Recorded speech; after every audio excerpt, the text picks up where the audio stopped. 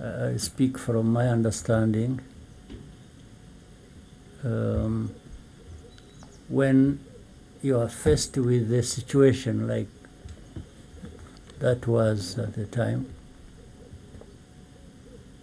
there are few things that come to your mind, and there are few choices. Either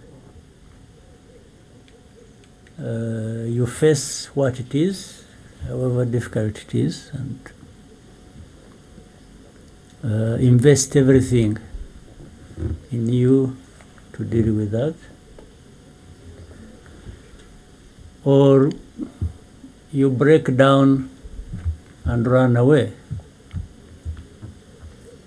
There is really nothing in between.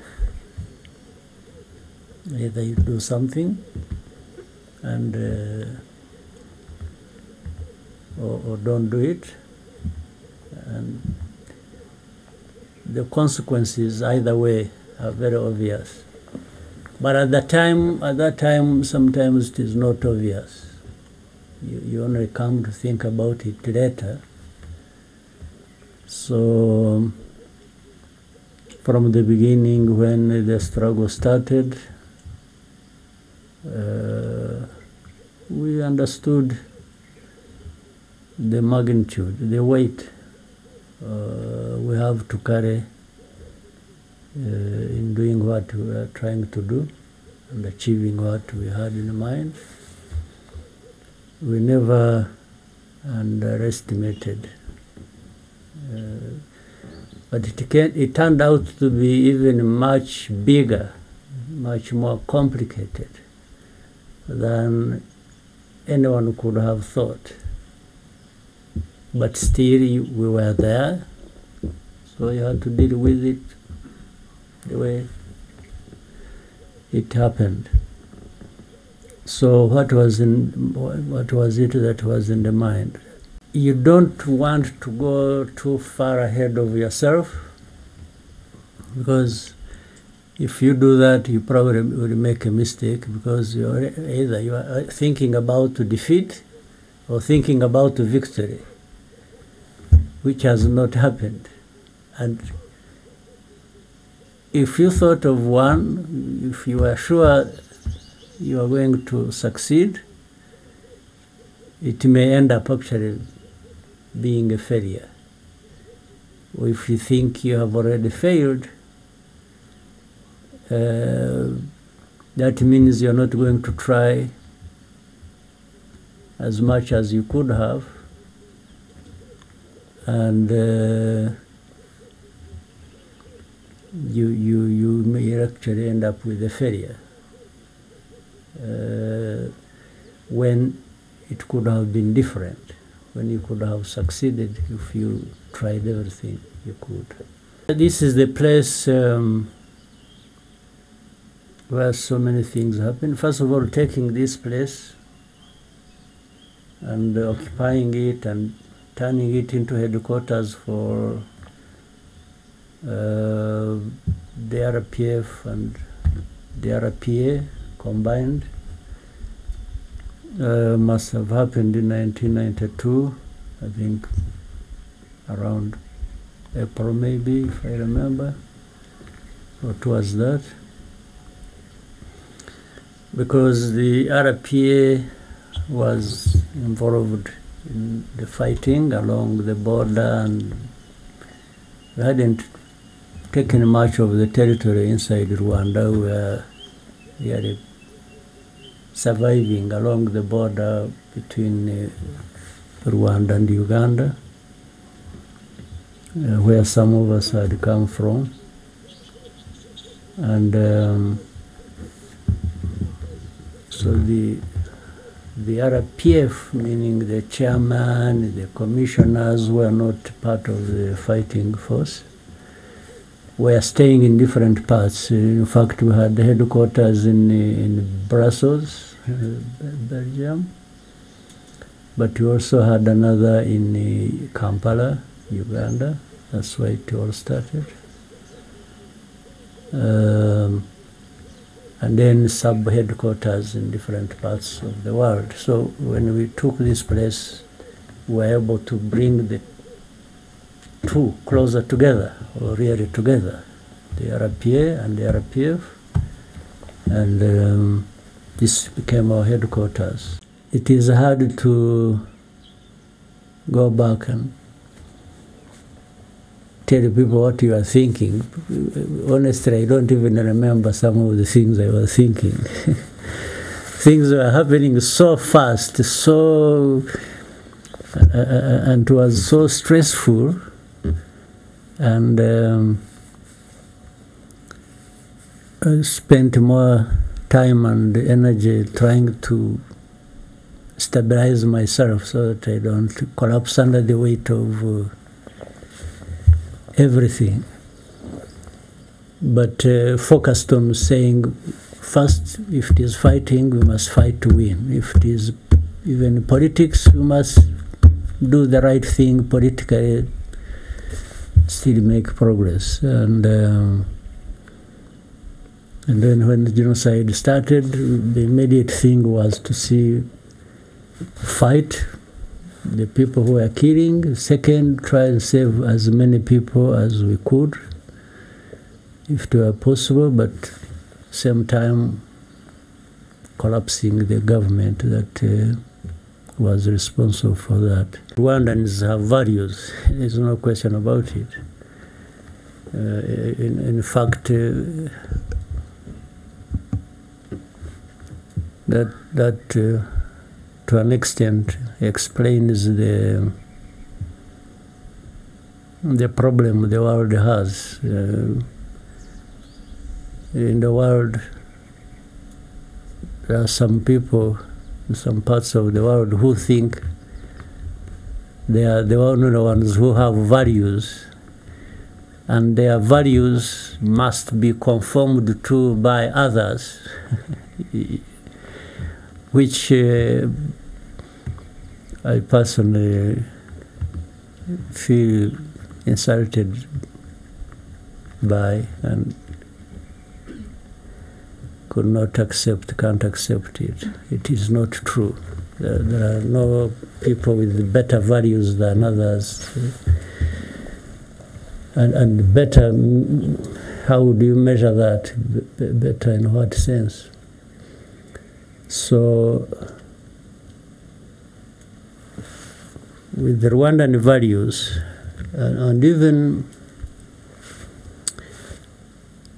with the effort to try and integrate the values, your own values, with other people's values so that uh, um, it is broadened uh, or, or you look at it. Uh, in a global context the way it should be.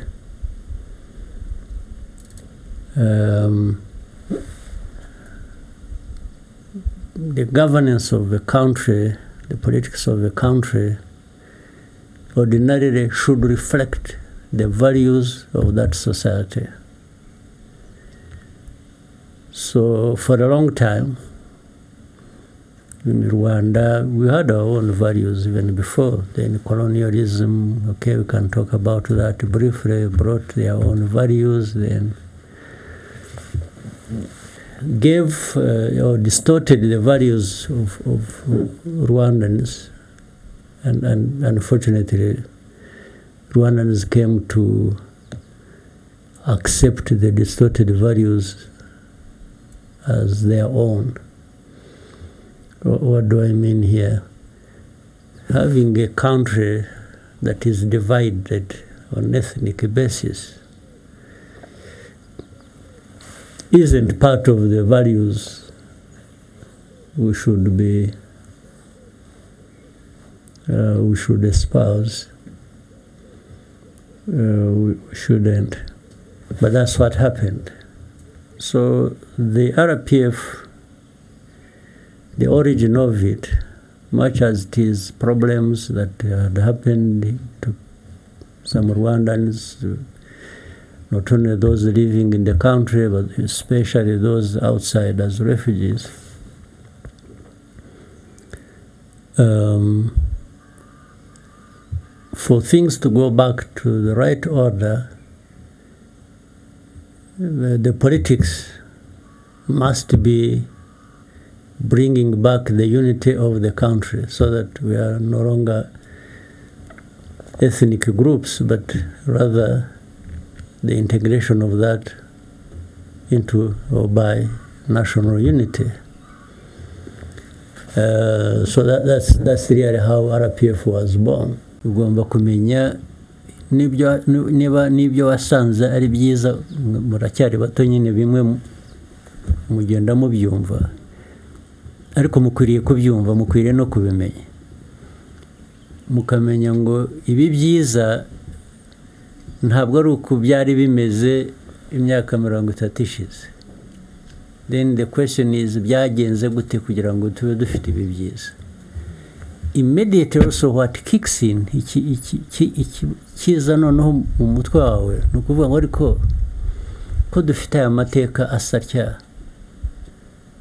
Kandi tukaba dufite ibi byiza bimeze gutya ariya mateka mabi yazagaruka. So noneho igikurikiraho ni ukurinda ibyo byiza ufite. Kubirinda gute rero hari uburyo bwinshi. Hari kubirinda even by shaping the opinion. Facts evidence and explanation. Hari kuvuga ngo ikintu ni cyiza umbajije uti ni kuki ari cyiza nabikubwira I will give you evidence, I will give you fact, I will give you why I believe ngo iki kintu ni cyiza so mu byo mukora rero nyine ni aho ngaho. Iyo byageze ahandi noneho nanone usubira mu mateka ukareba mu mateka bitani pages ukareba. Ntabwo ibyiza byikora. Ntabwo ibyiza biva muri opiniyoni gusa ngo no mu opiniyoni hari intambara. Nabyo buri munsi you wake up ready for a fight of some kind. Right? Yes. Numvuga nabi niyo waba utavuze igihugu nabi. Numvuga nabi turahangana. Ndakubaza impamvu mvuga nabi kandi ujye numva izindi ntambara zibaho ni izisanzwe iz'amasasu noneho zirimo no kubura ubuzima. Ibyo na byo ntawe ubihejwemo ibyo na byo hari ababyitabira baka so ni byo rero icya mbere ariko byose bihera ku mutima wawe n'ubwenge bwawe n'ukuntu utekereza na purisayisire nka bya ntimuzabe imbwa muzabe intare. Ni ukuvuga ngo kuba imbwa ni ukubaho utagira opiniyoni utagira umuntu yagutuka uti ya musore. Akaba ari we waporojayizinga no should be the one to me so kuba intare vuga ari ni uguhangana n'ikibazo cyaba icyawe ku giti cyawe cyaba icy'umuryango wawe cyaba icy'igihugu ukakigira icyawe nibura gutanga umusanzu mu kuyikemura. You heard of there used to be a demilitarized zone that you talked you have heard about. When we fought took territory then there was a global outcry and everybody was descending on us and they thought we were going to take Kigali actually. But I don't think much as we could easily have militarily from the operational point of view would have easily taken Kigali but I thought politically it would be a big mistake in, and that's why I prevailed over there was the urgency for people to, to say well, let's finish the job. But I, but I thought it wasn't going to the job wasn't to get finished because in a way we would be overstretched then we are taking on something much bigger than we can handle organizing the country. But still the forces were they were being defeated here but as the government was still established, you know, they still had forces.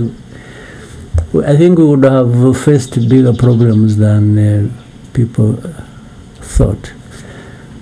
So, but when you were being told we must go back so that peace talks continue, resume, and continue. Um, in the end, we put a demand which we will not uh, uh, uh, relinquish. We demanded that for the areas we have taken a big part of the country as a result of the of breaking the ceasefire by government and so on and so forth. We cannot return these this area or these positions to the government. they've lost that, and they've lost it because of their own uh, big mistake. So we compromise to make things simple for everybody. We, we, we actually gave in to some demands, but created a formula that would allow us to take it. We said, if we leave this place, it should be demilitarized, and maybe UN or there was also at the time some African Union observers were here and um, said they should monitor this area. The government should stay where we pushed it to, and for us, we have no problem going back to our positions. And this area in between remains a, a demilitarized zone. But we had already registered a huge victory. Uh, we, we were able to connect with the people in the country uh, to a great extent. We um, it put pressure on government because they really got a very bad beating and, and they were now open to more serious discussion.